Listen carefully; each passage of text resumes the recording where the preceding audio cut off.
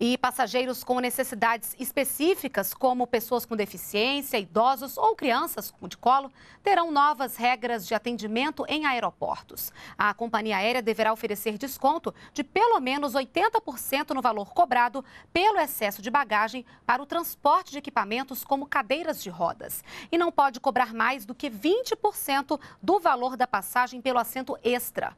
As companhias também não poderão limitar a quantidade de pessoas com necessidades de assistência a bordo.